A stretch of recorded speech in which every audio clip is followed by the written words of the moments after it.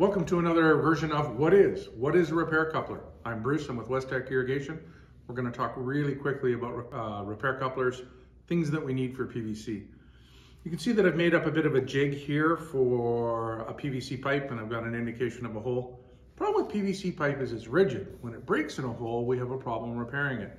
So one of the things we have is something called a repair fitting. The repair fitting expands. This one uses a coupler and expands and is glued in.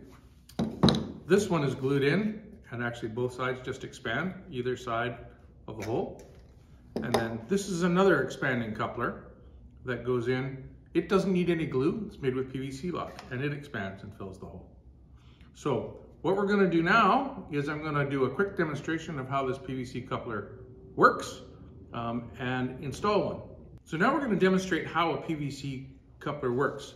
This is the area where we've simulated our hole with a little bit of, of uh, felt pen. This is the repair coupler, and this is just a coupler. These are PVC locks. They're gonna go together without glue. We're actually gonna take the coupler, put it on. We're gonna put it across the break. We're gonna take a felt pen, and we're just gonna mark the width of the coupler on here, like that. Then we're gonna take a pair of pipe cutters, and we're gonna cut the pipe. We take our broken piece, throw it away! We take our repair coupler, we put it in place, we slide the coupler portion to one side.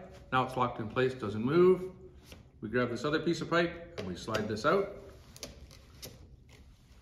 And voila, the pipe is repaired.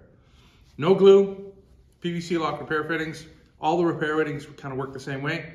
If you got a break in your PVC pipe, use an expandable coupler, available at Wes-Tech Irrigation.